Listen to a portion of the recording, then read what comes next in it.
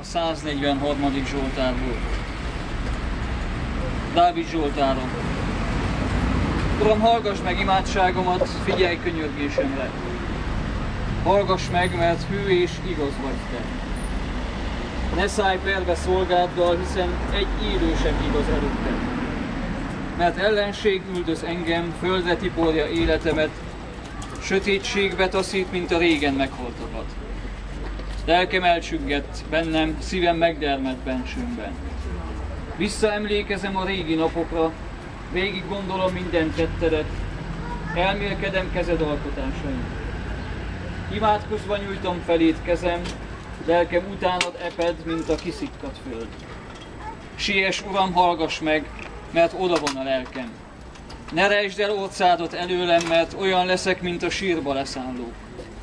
Hadd halljam minden reggel, hogy hűséges vagy, hiszen benned bízom. Ismertesd meg velem, melyik úton járjak, mert hozzád vágyódik lelkem. Ments meg ellenségeimtől, Uram, nálad keresek oltalmat. Taníts akaratod teljesítésére, mert Te vagy Istenem.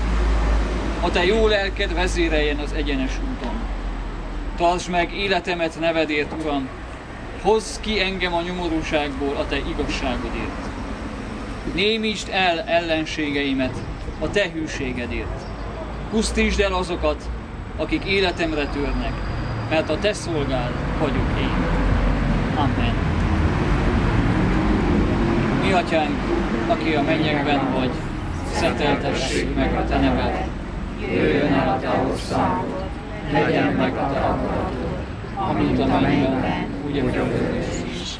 Minden napi kenyerünket add meg nekünk ma, és bocsáss meg védkeinket, miképpen mi is megbocsátunk az ellenünk védkezőknek, és ne vigy minket kísértésbe, de szabadíts meg a gonosztól, mert Tiéd az ország, hatalom és a dicsőség mindörökké. Amen. Itt kutyám,